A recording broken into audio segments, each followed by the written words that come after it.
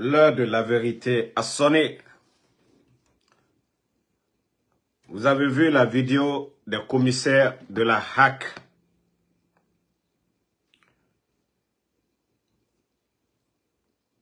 Les réseaux sociaux ont remué les poutistes. Le communiqué est tombé. Le président Boubacar Yassine. Voici le communiqué de la HAC. Le collège de la haute autorité de la communication HAC a constaté avec regret la sortie médiatique des commissaires Ibrahim Tawel Kamara et Djene Djakabi à Kankan lors de la mission de monitoring de proximité organisée par la HAC dans les quatre régions naturelles de la Guinée. Ces propos, d'après eux, hein, diffamatoires à l'encontre des hautes autorités du pays et de certains médias constituent une violation des dispositions du règlement intérieur de la haute autorité de la communication. Donc, euh, la dame qui est sortie, celle qui t'appelle à table, barak, barak, barak, barak. Bon, famille, ça dit quand on dévoile les secrets du CNRD, maintenant on dit non, c'est diffamatoire. Donc, les journalistes, dormez tranquille, bep. La hack même est sortie, non? Ils ont dit non, ce que la dame a dit, ce qu'on vous a dit et ce qu'on a dit au CNRD, que c'est faux. La fille ne pouvait pas venir s'asseoir, ces gens-là. Être tranquille. Ils ont été reçus au palais Mohamed V. Et comme c'est des petites personnes, d'abord, afin d'enregistrer les gens, c'est Charles Wright, le patron. Monsieur, enregistré, enregistré. On a vu comment il est parti. Donc, après nos sorties, parce qu'on a remué les réseaux sociaux, on dit qu'ils ont suspendu, voilà, que le collège des autorités réunis en sa section extraordinaire ce jeudi 13 juin 2024 demande instamment au président de la HAC de bien vouloir prendre les mesures administratives et disciplinaires qui s'imposent conformément au règlement. Donc, dans l'autre communiqué, ils ont suspendu les deux là. Mais pourtant, elle a dit effectivement comment le CNRD fonctionne. Personne n'a dit que les journalistes n'ont pas reçu d'argent. Si on les appelle pour les donner de l'argent, c'est l'argent de contribuable, c'est leur argent. Ah et Fatara. C'est parce qu'ils ont vu la réaction du peuple. Ces gens-là pensaient que non. Nous, on allait venir s'asseoir pour dire, eh, les, les médias. Moi, je vous ai dit, moi, je ne suis pas dans cette logique-là. Moi, Damaro, je ne fonctionne pas comme ça. C'était ça, dans leur tête, que les gens viennent s'attaquer aux médias. L'essentiel, c'est eux. Si le peuple est dessus aujourd'hui, c'est la gestion du pays. La manière dont les bandits gèrent cette euh, transition, ce n'est pas les médias. Donc, non, ça ne nous dit absolument rien. Voilà. Et concernant le dossier de Sadiba, je crois que vous avez vu dans les médias, parce que beaucoup aujourd'hui ne regardent pas. Voilà. Voilà ce que dit euh, le général Sadiba à la barre. Quand je parlais avec, bon, quand il dit président, c'est le bandit Mamadou Doumbouya. C'est Morissanda qui enflammait. Il m'a traité de traite. Déloyal. J'ai répliqué. Ah oui, Asanda. Ah oui, Asanda. Ah oui, Asanda. Ça, c'est les propos du général Sadiba à la barre. Je parlais avec le, le putschiste Mamadi. C'est Morissanda qui enflammait. Il m'a traité de traite déloyale. J'ai répliqué. Voici. Nous savons désormais les raisons pour lesquelles l'ex-chef d'état-major général des forces armées, le général Sadiba Koulibaly et six de ses gardes sont renvoyés devant le tribunal militaire de Conakry. après une descente musclée à son domicile à Kuntia le 4 juin où ces hommes en tenue ont été mis aux arrêts. Dès l'ouverture du procès ce jeudi 13 juin 2024, le président du tribunal a rappelé aux accusés, voilà, ajudant, ajudant Nabi Bangoura, caporal, chef Abaka Diallo, caporal Mohamed Kumbasa, caporal, chef Abou Koulibaly, écoutez, hein, c'est des caporals même, chef, caporal, chef Suleiman Keita, caporal Gani Kourouma, sont jugés pour détention illégale d'armes excepté le général Koulibaly, qui est renvoyé devant le tribunal pour des faits de détention illégale d'armes. C'est-à-dire les six personnes, les gars de, de Sadiba. C'est là, je dis souvent, cette justice n'a même pas honte. Vous entendez tous des caporales.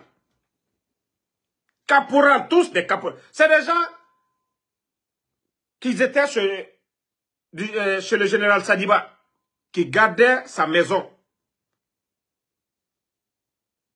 parce que certains ont voulu faire le mal. Ils viennent mettre des armes, on dit non, c'est pour ces gens-là. Tous des caporales. On dit, après avoir décliné leur identité et expliqué les faits pour lesquels ils sont devant le tribunal, le temps a été accordé au général Sadiba de répondre aux questions du président. Pour commencer, le général Sadiba qui refute en bloc toutes les accusations a a indiqué qu'il a quitté la Havane à Cuba où il est chargé d'affaires à l'ambassade de Guinée. Le 22 mai, via Miami, ici aux États-Unis, puis la France avant de regagner Conakry le lendemain en raison des disponibilités des vols.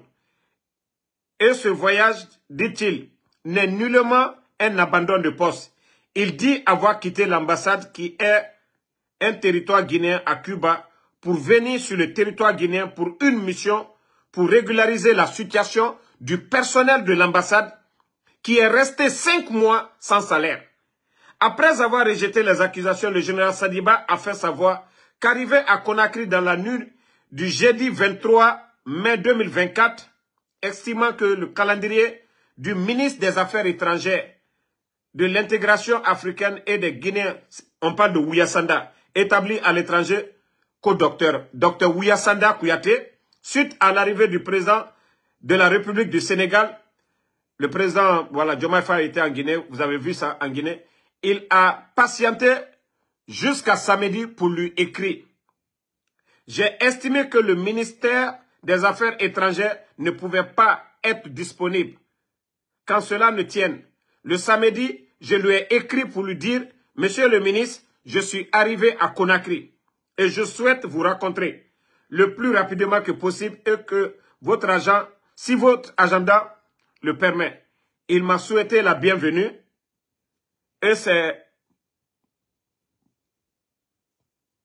Voilà, et ses portes sont grandement ouvertes et qu'il souhaiterait me recevoir le lundi 27 mai à 9h30 au ministère des Affaires étrangères. Confie-t-il poursuivant le général Sadiba. Bon. Famille. C'est pourquoi l'imbécile qui est flanqué en France, que les Amara ont fait venir, vous avez vu la différence? Ça dit, je me demande, nous sommes dans quel pays? Où est le sérieux? Ça dit, on a trouvé ces sentinelles chez Sadiba là-bas, des gens qui ne représentent pas grand dans l'armée. Tous, vous avez entendu? Celui dont on dit le nom, co-caporal. Caporal, caporal, caporal. On vient dire que non, que ces gens-là voulaient faire coup d'État. C'est-à-dire, où est le sérieux en Guinée? Où est le sérieux en Guinée? Ah non, mais le Guinéen est méchant. Le Guinéen est méchant. Ça dit, Mamadi, il y a que tu l'as fait quoi Il est que tu l'as fait. Ton entourage là, toi déjà tu as fait ton coup d'état. Aujourd'hui, tous ceux qui sont à côté de toi, c'est des envieux. Al que sans qu'il ait Remaboua Karama. Aujourd'hui, beaucoup sont menacés aujourd'hui. Beaucoup d'officiers sont menacés aujourd'hui. Parce qu'il y a certains, ils veulent anéantir tout le monde. Et comme ça, eux, pour taper sur Mamadi, ça va être plus facile. Mais on demande le départ de tous ces gens-là. Albert.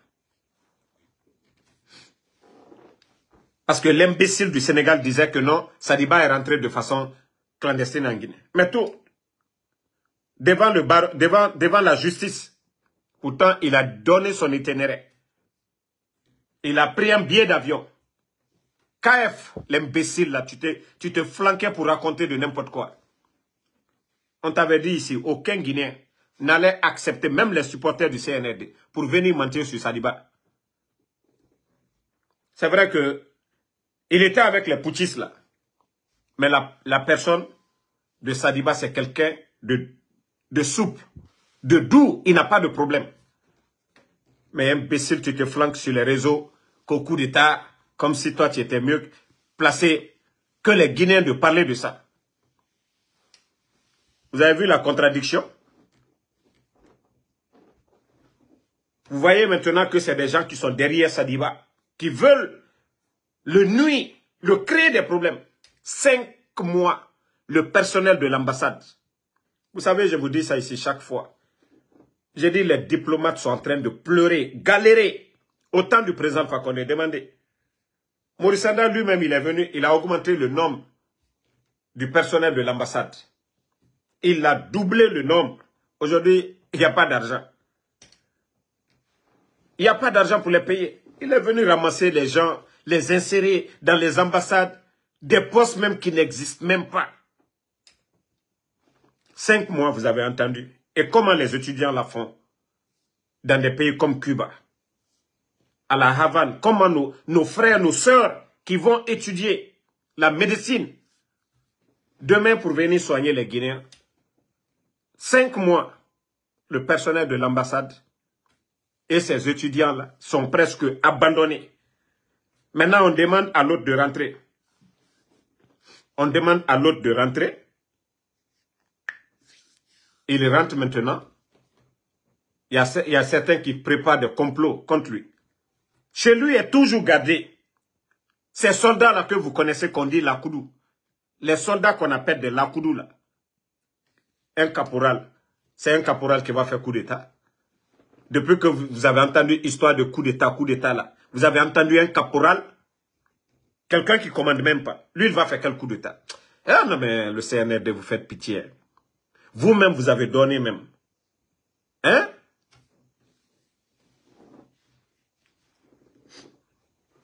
Les grades qu'ils ont, vous avez tout, tout dit devant le peuple de Guinée. Il faut avoir honte. Il faut avoir honte, le CNRD. Vous n'avez pas vu la fille, elle est sortie pour venir casser vos papos devant le peuple de Guinée? Les gens de la HAC, pour dire que vous êtes prêts à tout. Vous êtes prêts à tout. À conserver, à garder le pouvoir là. Donc c'est clair pour tout le monde. C'est clair pour tout le monde. Mais le jeu, c'était de salir les journalistes. Mais comme vous avez vu que nous qui sommes sur les réseaux sociaux, et nous n'avons pas accepté le jeu. Parce que certains pensaient que non.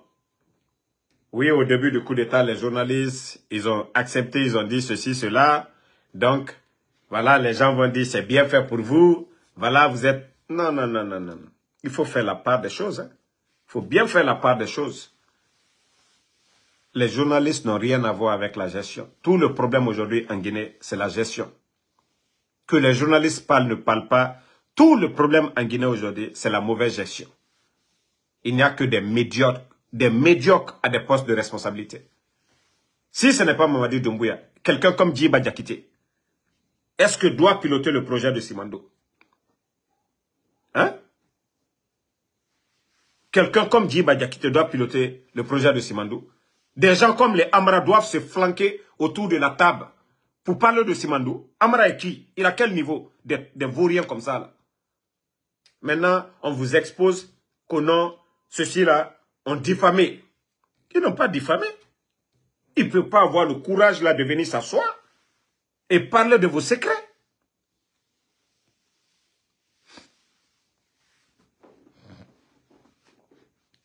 Charles Tezon, c'est toi qui dis que c'est un journaliste, ce n'est pas un journaliste, ok? Il ne faut même pas dire que KF c'est un journaliste, il n'est pas journaliste.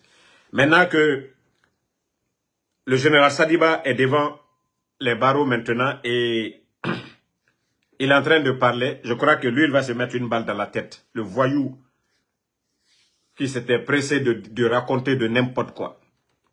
Je vous ai dit, c'est Dieu qui a sauvé Sadiba. Hein. C'est Dieu qui lui a sauvé. L'intention, comment Vous avez besoin de quelqu'un. Plus de 40 véhicules pour aller chez lui. 40 véhicules. Bloquer tout le quartier. C'était de l'éliminer et commencer à arrêter tous les, les noms dont j'ai cités hier. Les noms de ces officiers-là ils allaient arrêter tous ces officiels, les Philippe Magas. Et pourtant, toutes ces personnes-là ont aidé Mamadi ici. C'est-à-dire, moi, je m'assois jeudi matin.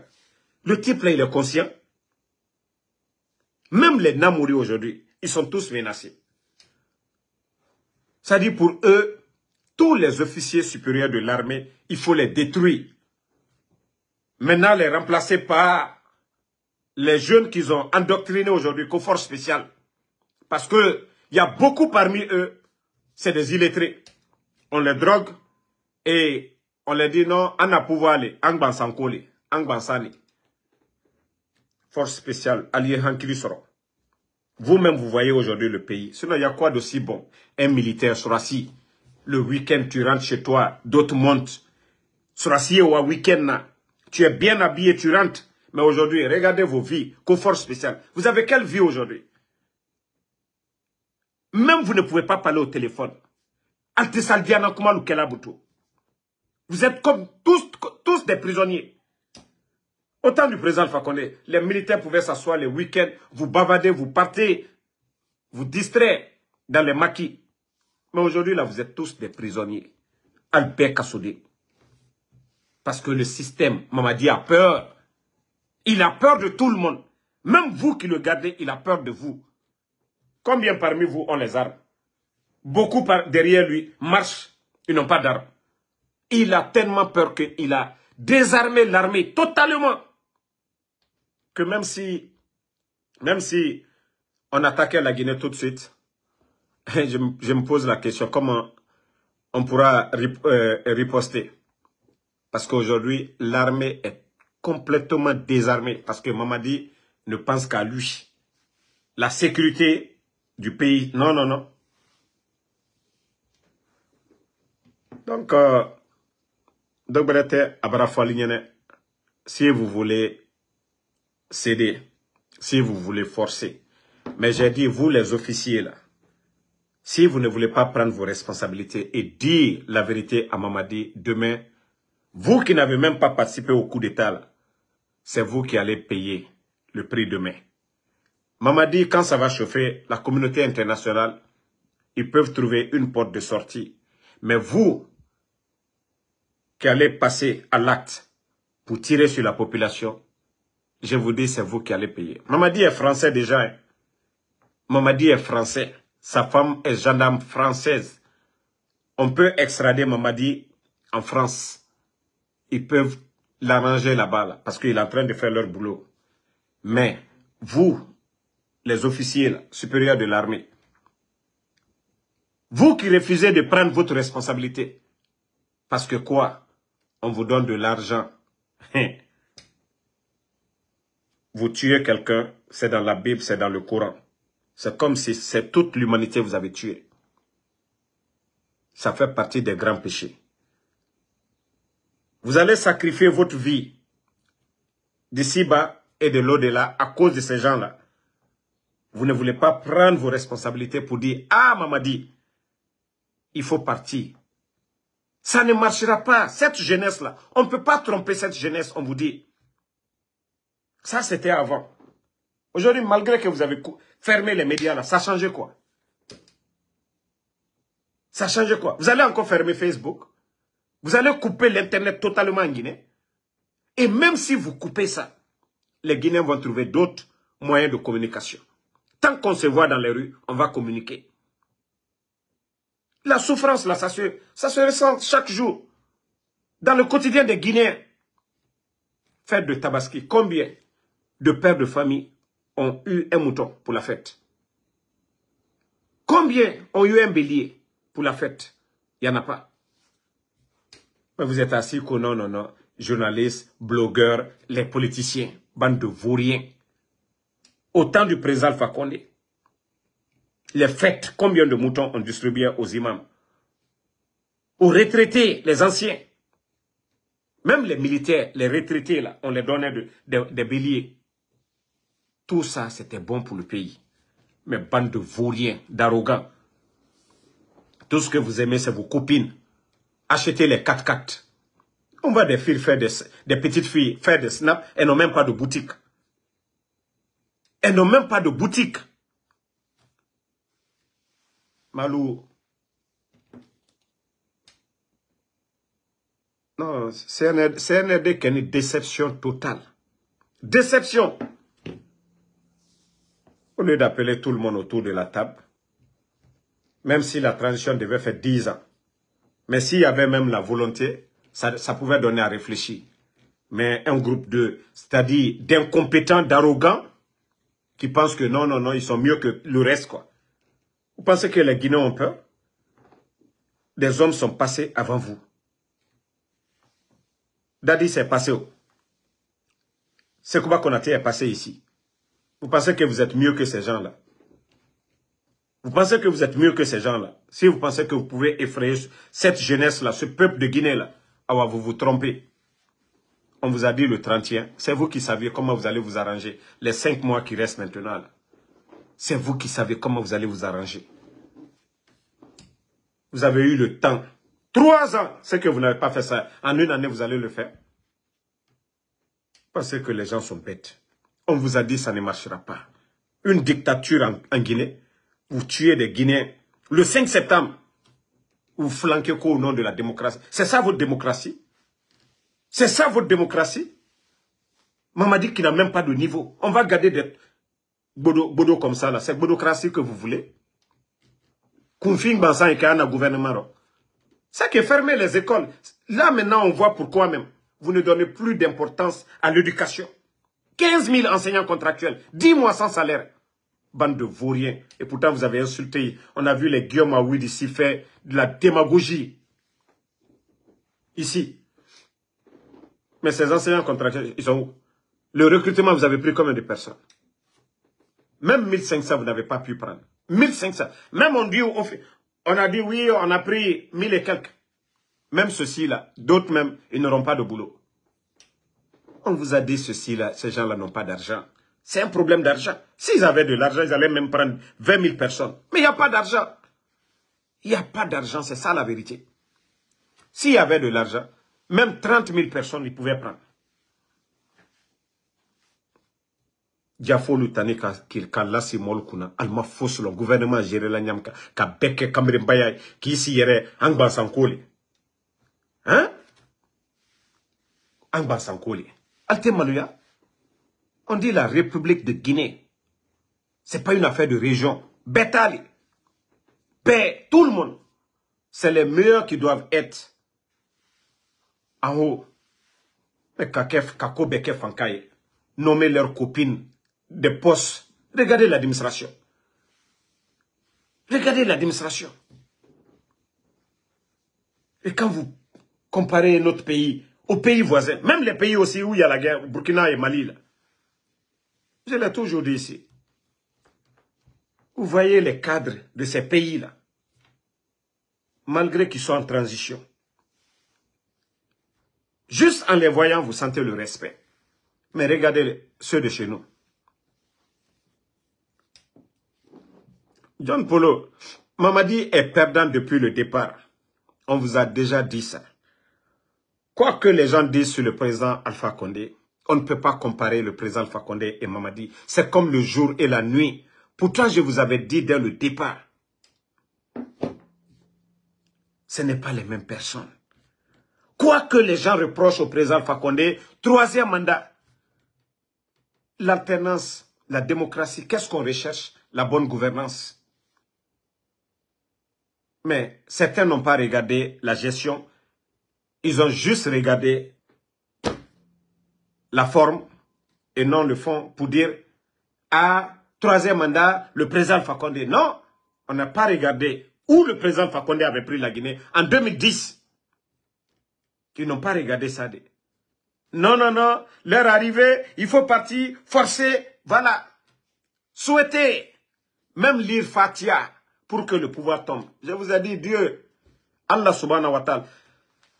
Pourtant, les imams, ils nous parlent de ça chaque fois. Que lorsque un peuple est ingrat, n'est pas reconnaissant envers son bienfaiteur, Allah subhanahu wa ta'ala, son créateur, Dieu, il vous envoie des gens comme les Mamadi Doumbouya. Il vous donne un mauvais leader. Ça dit quand on n'est pas reconnaissant envers Dieu. Il y a d'autres, autant de présidents Fakono, ils ont dit Fatia pour que le pouvoir tombe. Mais ils n'ont pas dit Allah subhanahu wa ta'ala, fais ce qui est bon pour nous.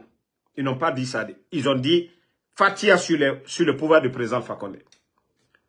Mais aujourd'hui, ce n'est pas le même peuple qui pleure Alpha Condé aujourd'hui. Ce n'est pas le même peuple qui dit Ah non, autant du président Fakonde. Qui est le vainqueur entre le président Fakonde et Mamadi? C'est le président. Le président Fakonde même. Moi, c'est ce que je dis. J'ai même pas besoin de dire le président Fakonde de venir. Son honneur ils ont déjà lavé son honneur. Ceux qui sont en prison aujourd'hui, dans le docteur Kassouri, j'ai dit c'est Dieu qui sait faire les choses. Qu'est-ce qu'on n'a pas dit sur docteur Kassouri ici? Quand il est venu avec conteneur d'argent, le Guinéen qui n'a jamais voyagé, qui n'est jamais monté dans l'avion, qui n'est jamais arrivé aux États-Unis, va croire à ces mensonges-là. Conteneur d'argent, il va aller avec ça où? Aux États-Unis, tu ne peux pas venir au-delà même de 10 000. Tu ne peux pas prendre 20 000 pour mettre à la banque. Ils vont te demander que docteur Kassouri est venu avec conteneur d'argent. Mais aujourd'hui, ils sont dans les mains des putschistes. Ceux qui ont renversé leur pouvoir. Mais depuis qu'ils sont devant le barreau, qu'est-ce que ces gens-là ont prouvé? Comme preuve contre ces gens. Il n'y a rien. On dit, docteur Kassori, il a une banque. Parce que le villageois, le Gawa Ali Touré, on demande, vous avez une maison aux États-Unis. Si docteur Kassori, il devait même avoir un château aux États-Unis. Mais regardez sa petite maison dont on parle à Washington. Pourtant, il y a des Guinéens ici, là, qui ont plusieurs maisons ici. Mais, Dieu merci, eux-mêmes, ils ont lavé l'honneur de ces gens-là. Quand ils vont quitter dans l'affaire, là, je crois que personne ne va se flanquer pour dire ils ont fait ceci, cela. Donc, le gros perdant, c'est le CNRD. C'est Mamadi et son groupe. Et je les ai déjà conseillés ils n'ont pas d'autre porte de sortie que de négocier leur sortie. Ce n'est pas les armes. Ce n'est pas les armes. Ils peuvent négocier toujours leur bienfaiteur, le président Fakonde. C'est un politicien fait. Lui, il accepte, il est sans façon. Mais s'ils ont peur du président Fakonde, c'est très simple. Organiser des élections et partez. Négocier avec Sénoudalé ou négocier avec le candidat du RPG. Les élections aujourd'hui en Guinée, c'est entre les deux partis là. Ça, c'est clair pour tout le monde. Des élections aujourd'hui, c'est entre les deux partis là. UFDG, ANAD, RPG, Arc-en-Ciel. Le vainqueur viendra entre ces deux partis là. Donc, c'est à vous de négocier comment ils vont vous faire sortir tranquillement. Mais si vous dites que vous allez forcer la situation, des gens vont mourir et vous allez payer. Vous allez terminer comme Châtellon, ou soit vous allez terminer comme Robegui.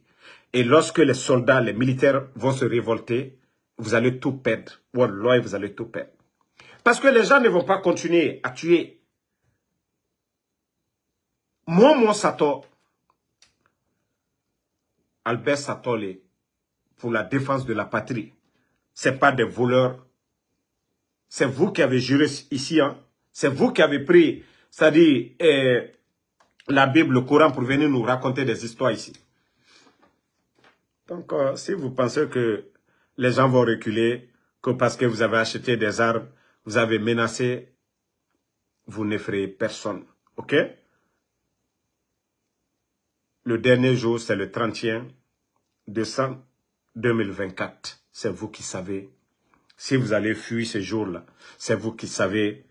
Si vous allez donner le pouvoir au président Fakonde, c'est vous qui savez. Si vous pouvez organiser des élections dans les cinq mois, c'est votre affaire. Mais les politiques, là, ça c'est leur métier. Les militaires, c'est dans les casernes. Mais militaires, bureau kono, ni bandiate. Militaire, la bureau est quand État-major, lui, a parlé. L'administration, là, ceux qui ont étudié, là, à nous les gérer, là. Militaire, lui, est défense, là. On ne peut pas faire les deux à la fois. Un civil n'est pas militaire à la fois. Non. Un civil ne va pas commander un militaire. Non. On n'a jamais entendu un civil faire. Dans les casernes là-bas, non. Donc, à un moment donné, il faut réfléchir. C'est vous qui devez retourner dans les casernes. Vous voulez être président, devenez président dans les, dans les camps là-bas. Commandez. Vos commandements là, c'est là-bas. Vous voyez pas les militaires tout le temps. Nous, on ne peut pas faire ça. C'est là-bas vous allez faire ça. Caporal, quoi quoi, qui se tape les fesses chaque fois là, c'est là-bas. Au moment que vous vous faites des formations de six mois, D'autres vont chercher leur doctorat pour être des ingénieurs en mine. Et aujourd'hui, ces gens, on les laisse, c'est des vauriens comme les djibas. Pourtant, on a, on des experts en mine, des Guinéens qui ont étudié, qui maîtrisent le dossier, qui peuvent faire gagner beaucoup à la Guinée. Mais c'est des vauriens comme les djibas, des vauriens comme les Amara, qui pilotent le projet de Simandou. Comment est-ce que la Guinée peut avancer? Toutes ces vérités sont là et vous êtes en train de, vous, de nous fatiguer, tourner, tourner autour.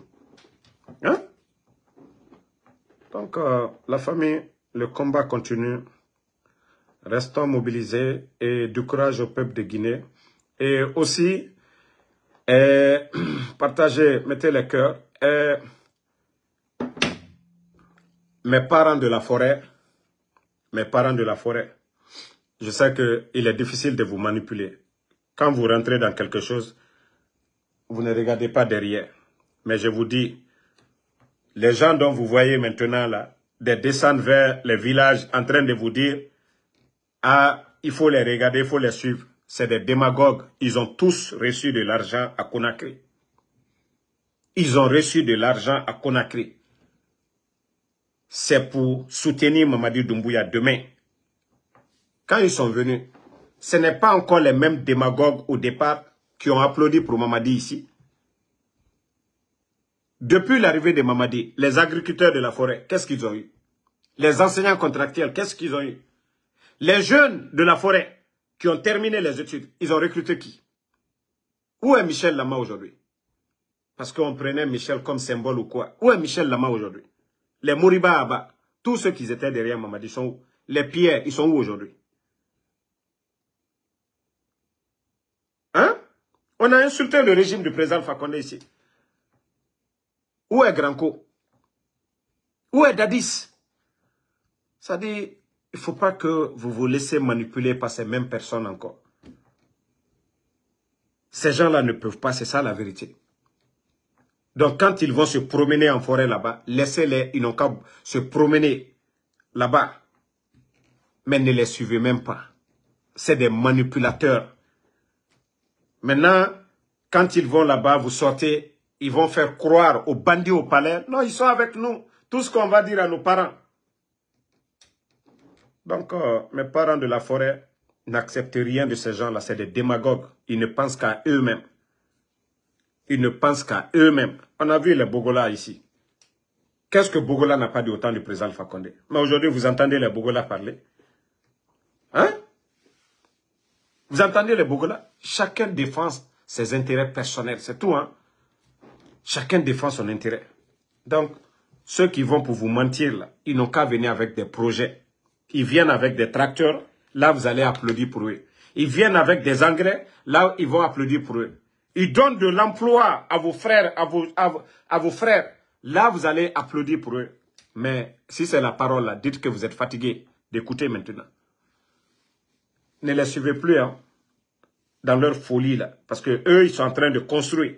On leur donne des milliards. Maintenant, ils vont confectionner des petits t-shirts là-bas pour vous dire, hé, venez, voilà, on est avec le pouvoir, on va faire ceci, cela. Des petits, voyez.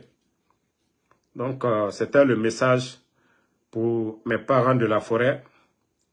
Ne rentrez pas dans la manipulation de vos fils qui ne pensent qu'à eux seulement. Voilà, ils ne demandent jamais de libérer vos frères aujourd'hui en prison. Ils ne demandent jamais de donner de l'emploi à vos frères. Donc, euh, merci à la...